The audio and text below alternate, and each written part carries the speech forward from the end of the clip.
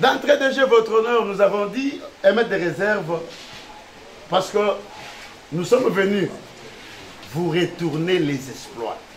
Je les informe que les moyens qui les soulèvent, quand on dit nous venons retourner, ça ce n'est pas les droits. Nous venons retourner les exploits. Ça c'est les Français. Ça, vous pouvez trouver ça dans quel code? Mika Steve député national et promoteur de l'école Le Cartésien, Mbia Kabengele Sylvain, observateur électoral de l'ONG Vision Internationale dans la circonscription électorale du Mont-Amba, poursuivent par citation directe Azaba Magbaya Didero, Lokwaseda, Isebiswa et Baigon au tribunal de grande instance de Kinshasa Matete pour cause et blessures volontaires, imputation dommageable, injure public et association des malfaiteurs. Les faits remontent au 20 décembre 2023. Selon les avocats des parties citantes, les cités Azaba Magbaya Didero, Lokwaseda, Idebiswa et Baigon tous anciens collaborateurs du premier citant Mika et Steve, auraient profité de leur discorde passée et proféré des insultes contre le premier citant dans le bureau de vote Chongwa, quartier Sokopao 2, dans la commune de Limité. Les cités auraient taxé le citant Mika et Steve de voleur. Les cités auraient également imputé au citant Bikai d'avoir bourré les urnes dans le même bureau de vote. Ceux-ci auraient pris des vidéos de leur forfait et les auraient balancées sur les réseaux sociaux.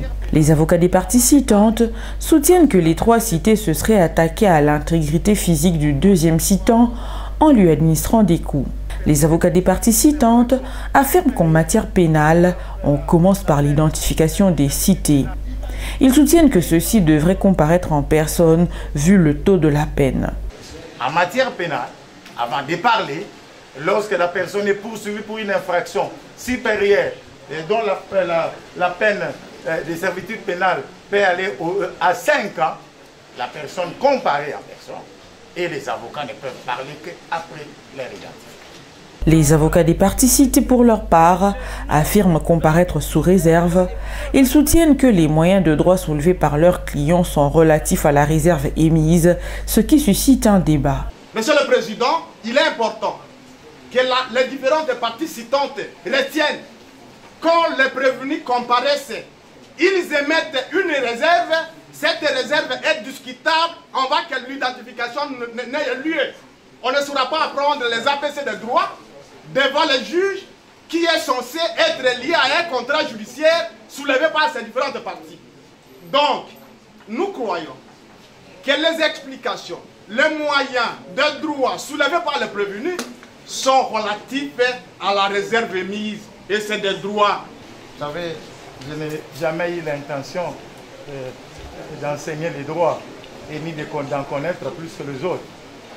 C'est comme ça que ça se passe en, matière pénale. On ne soulève pas. Parce que pourquoi je ne réponds pas à ce stade? Parce que les moyens soulevés par les parties adverses n'ont rien à voir avec la saisie. Vous savez, le droit, vous savez, on peut pas avoir, on peut avoir la prétention quand on dit qu'ils sont, ils sont mal entraînés et de donner des leçons qui n'existent pas. Qu'est-ce qu'on entend par la saisie? Quels sont les moyens qui peuvent amener à un juge de se déclarer non saisi? Si on a tout oublié en droit. Vous avez les mentions relatives au délai de comparution. Est-ce que la, signification a été faite en respectant la huitaine franche? Vérifiez. Est-ce que la manière d'instrumenter, vous savez, les problèmes, ça, ce sont des choses déjà enseignées. Hein, c'est à ce stade ici, je ne peux pas y revenir.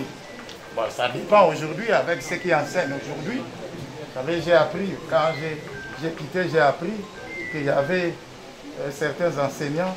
vous savez, quand nous, nous étions là, nous, nous avons vu Bayona, parce que j'ai appris qu'il y aurait euh, des enseignants qui nous, nous ont remplacés là où nous avons étudié.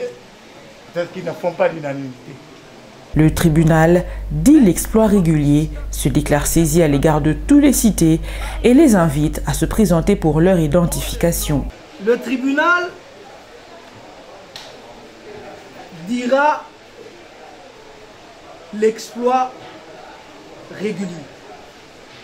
Le tribunal se déclare donc saisi à l'égard de tous les cités sur exploit réguliers.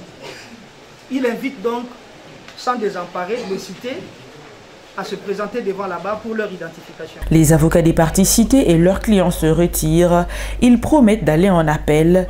Le tribunal constate qu'il n'y a pas d'appel et poursuit l'instruction de la présente cause. Les prévenus qui sont là, que ce soit acté, vont en appel et nous nous retirons. Nous avons tout. Merci. Le, tribunal peut procéder, nous nous retirons sur le banc. Le tribunal constate qu'il n'y a pas appel. Nous partons. Il n'y a pas appel. Qu'il soit acté, qu'il soit que le tribunal va poursuivre sans désemparer l'instruction de la présente cause. Le tribunal passe la parole au premier citant pour sa version des faits. Celui-ci soutient que les cités se seraient organisées avant la campagne dans un groupe WhatsApp dans le but de nuire à sa personne. Les avocats des citants sollicitent du tribunal de dire établir toutes les infractions mises à charge des cités et les condamner au paiement de 100 000 dollars chacun pour les préjudices subis. Bien avant la campagne, on s'est préparé. Et j'ai même euh, encore des écrits euh, d'un groupe WhatsApp où ils s'écrivent, c'est-à-dire le groupe de tous les gens qui étaient engagés avec le là, là où ils mettent leurs menaces encore. Et là ils disent même que nous avions attrapé son petit frère en train de bourrer les urnes. Il n'a pas à nous intimider. Ils ont mis autant de choses dans ce groupe. Et je vais produire les audios et peut-être même les captures. Les préventions des coups et blessures volontaires, d'imputation dommageable, d'injures publiques et d'association des malfaiteurs mises euh, euh, à charge de tous les prévenus et vous allez les condamner aux peines prévues par la loi. Et subsidiairement, vous allez allouer à mon client la, la modique somme dont vous condamnerez donc chacun des prévenus à payer à mon client la modique somme de l'équivalent en francs congolais des 100 000 dollars américains pour tout préjudice confondu. Vous savez, Monsieur le Président, que vaut la vie d'une personne sans crédibilité, sans personnalité? Le ministère public, dans son avis, demande au tribunal de dire établir les infractions de coups et blessures volontaires, imputation dommageable, injures publiques et association des malfaiteurs à charge des quatre cités et les condamner à 10 ans de servitude pénale et au paiement de 800 000 francs congolais d'amende et 1000 dollars pour les préjudices causés. Nous disons, ceci comme là, c'est établi au fait comme en droit des préventions mis à leur charge de les condamner tous. Nous faisons les, les cumuls,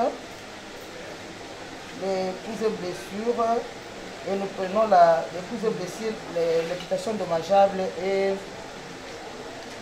les injures et l'association de malfaiteurs. Nous prenons la la plus, euh, la, la plus élevée. Nous les condamnons tous à chacun à 10 ans de servitude pénale. Nous les condamnons à chacun à 500 dollars équivalent francs congolais.